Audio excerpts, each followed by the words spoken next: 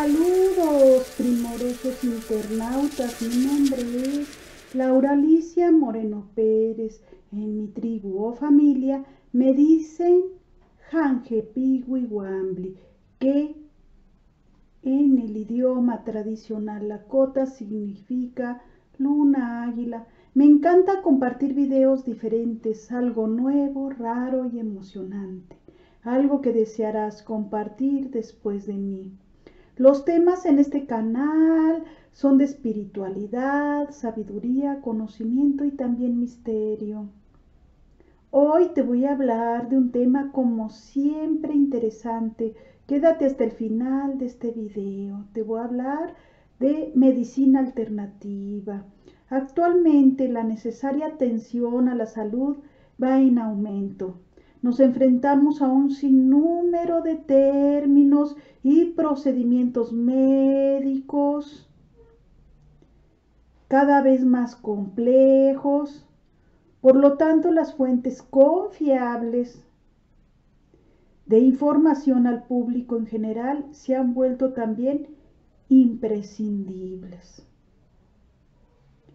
El valor de estos videos que he empezado a grabar es muy importante porque es una colección de terapias alternativas, además son confiables.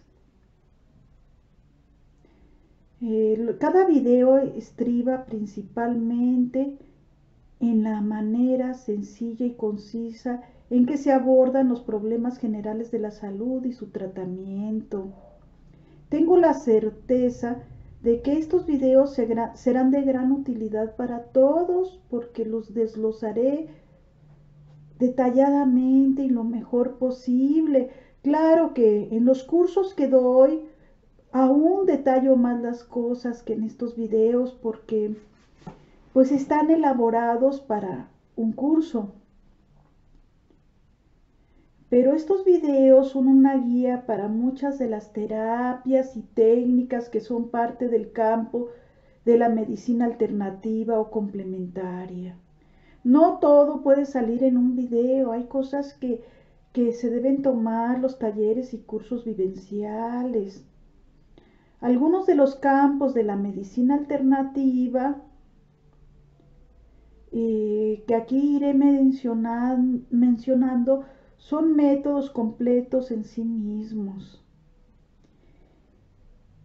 Y se incluirán tanto el diagnóstico eh, de los problemas de salud más generalizados como sus tratamientos. Y algo otros de los cuales también hablaré eh, son solo complementarios para la práctica convencional. En, estos videos describiré las prácticas más conocidas y las más ampliamente practicables, eh, como la aromaterapia, este, remedios herbales, homeopatía y muchas más.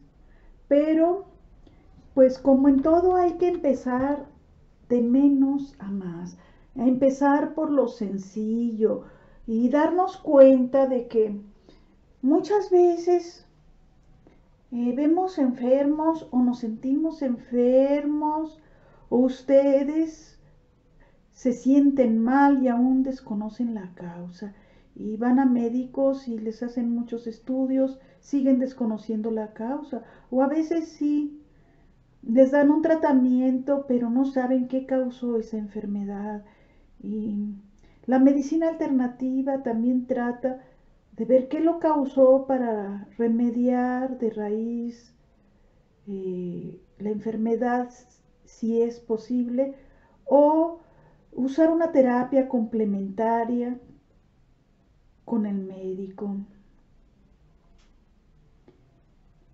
Y pues es bien sabido que las emociones y los problemas también enferman a las personas.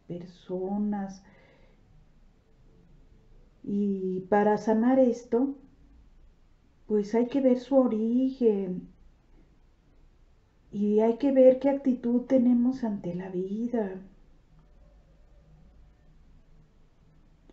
Eh, no solo se trata de terapias alternativas, sino de un cambio de cómo vemos la vida, cómo vemos a los otros, nuestra actitud, si sabemos vivir felices o no. Y para esto nos vamos a, a cuidar, a querer primero, entrar en estados meditativos que mejoren nuestra energía vibratoria en positivo y darnos cuenta de que hay emociones que están muy ligadas con las enfermedades. Entonces, la medicina alternativa no solo trata de remedios, como cree mucha gente por ignorancia, que tomarse un tecito y ya. Es algo muy profundo, hay mucho conocimiento en el que te aseguro que si emprendes este viaje, Nunca terminarás de, aprender. Y pues hoy te voy a hablar un poco de, de ello. Por eso quédate hasta el final del video. Eh, yo quisiera hablarte mucho más al respecto, pero eh, los videos en YouTube siempre son muy cortos y son temas demasiado largos. Te hablaré un poco de aromaterapia, por ejemplo, la curación a través de la aromaterapia.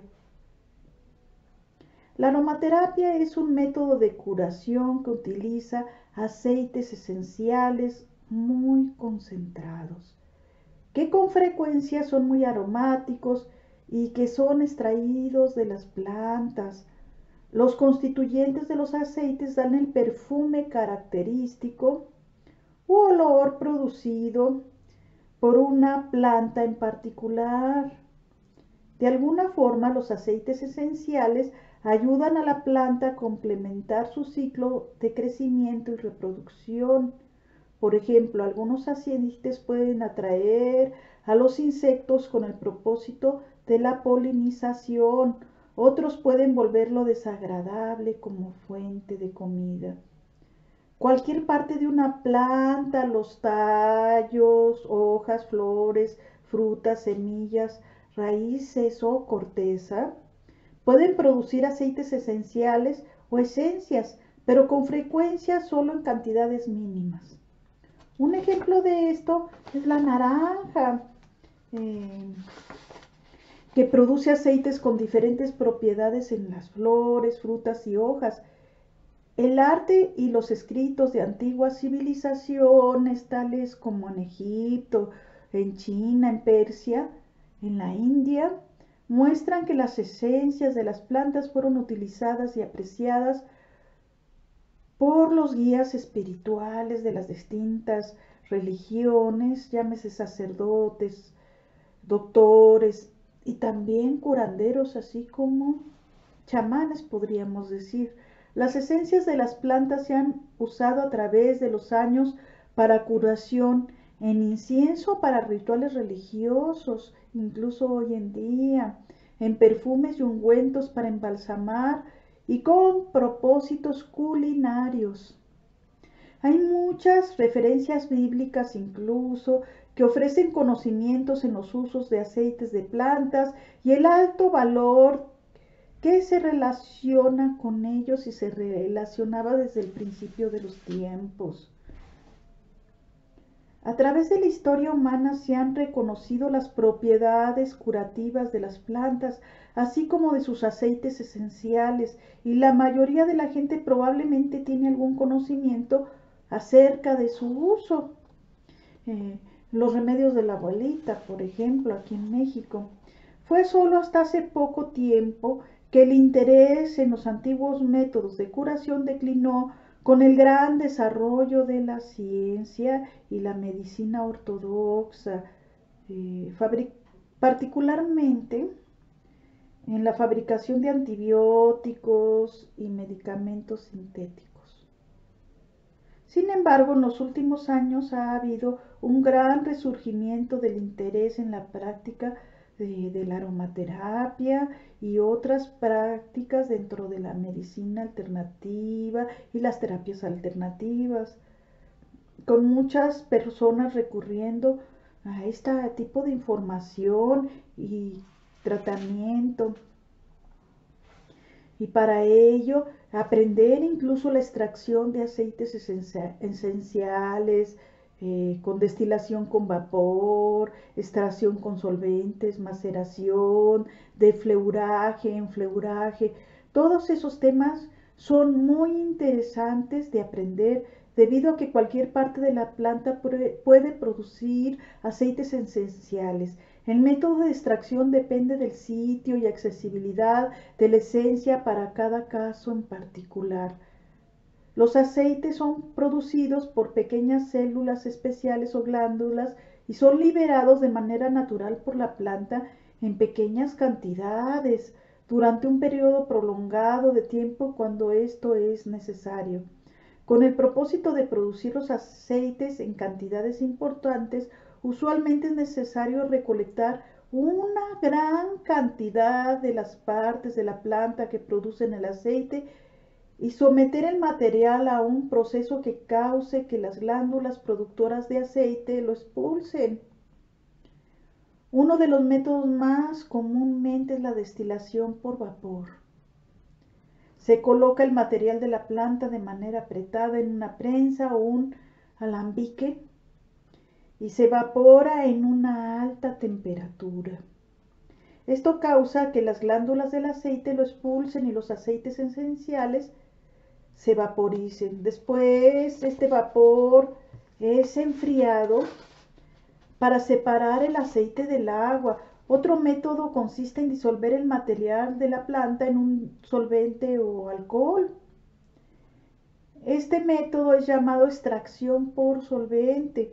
Para ello se debe colocar el material en una, en una centrifugadora la cual rota a una gran velocidad y luego extraer los aceites esenciales por medio de un proceso de destilación a bajas temperaturas.